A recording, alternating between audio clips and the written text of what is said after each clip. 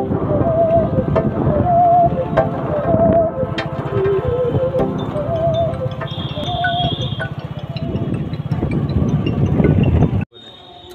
Guys आपका स्वागत है हमारे इस फ़र्स्ट ब्लॉग चैनल पर।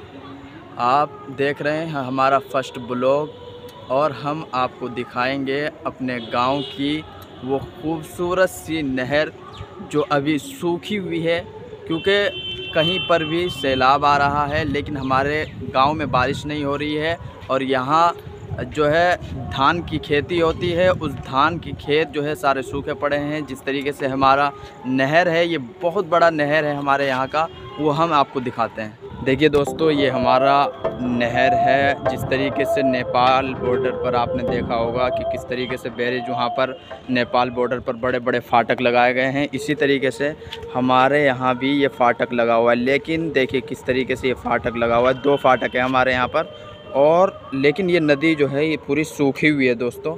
देखो किस तरीके से पूरा पानी सूख रहा नहीं तो इन दिनों में इतना पानी इसमें भरा रहता था कि अगर कोई चीज़ डूब गया, कोई इंसान इसमें गिर गया तो वो बच पाना मुश्किल है। तो देखा आपने, आपको ये वीडियो कैसी लगी, कमेंट में ज़रूर बताइएगा। हमें प्यार देने के लिए, हमें सपोर्ट के लिए इस वीडियो को ज़्यादा से ज़्यादा शेयर कीजिएगा।